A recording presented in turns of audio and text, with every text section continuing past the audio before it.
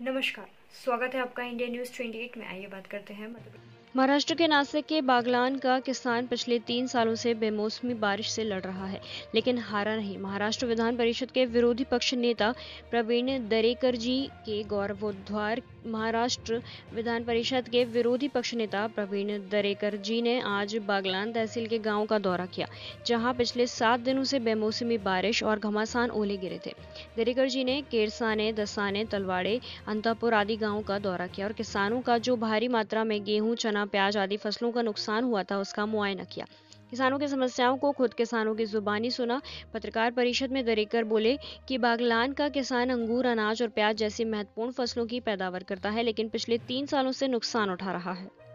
ओले गिरने से प्याज बीज पूर्णतः नष्ट हो गया है और ऐसे में सरकार ने प्याज बीज के एक्सपोर्ट पर बैन लगा देनी चाहिए और किसानों को आसानी से बीज उपलब्ध करा देना चाहिए। विद्युत वितरण कंपनी जो बिजली का बिल न भरने की वजह से किसानों का बिजली कनेक्शन काट रही है, उसे सरकार ने तत्काल रोक देना चाहिए। आगे जाकर उन्होंने ये भी बोला कि किसान को नियमित रूप से बिजली मिलनी चाहिए। जिन जिन किसानों का नुकसान हुआ है उनको मुआवजा मिलने के लिए सरकार को बताया जाएगा और किसान को न्याय दिलाने के लिए आग्रह किया जाएगा।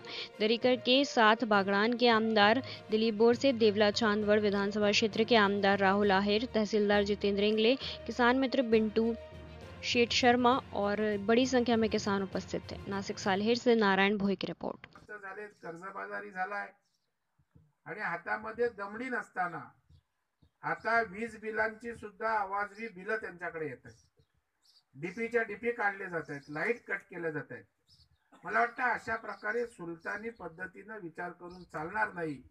शेतकऱ्यांच्या बाबतीत सहानुभूतीपूर्वक विचार करून अशा अवकाळीग्रस्त भागातील त्या ठिकाणी वीज खंडित करू नये.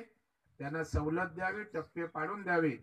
अशाही प्रकारची मागणी या ठिकाणी निश्चितपणे आहे. मी इथल्या सगळ्या शेतकऱ्यांचं मनापासून कौतुक करेन अभिनंदन करेन की तीन तीन वर्ष अवकाळी येऊन सुद्धा त्या ठिकाणी हिमतीनं या संकटाला सामोरं जाण्याची जिगर या ठिकाणच्या शेतकऱ्यांना शेतकऱ्यांमध्ये दिसते.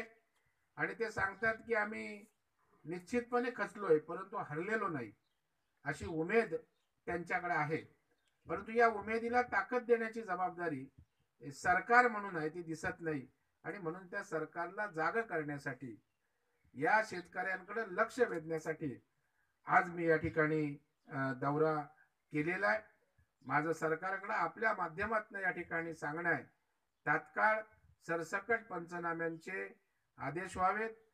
तात्कालिक मदत व्हावी आणि हेक्टरी या शेतकऱ्याला मदत करत कर्जाच्या बाबतीत सुद्धा सहानुभूतीपूर्वक विचार करावा अशी माझी या ठिकाणी मागणी राहील.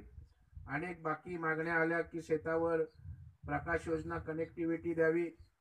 त्याचबरोबर इथे बिबट्यांचा त्रास आहे.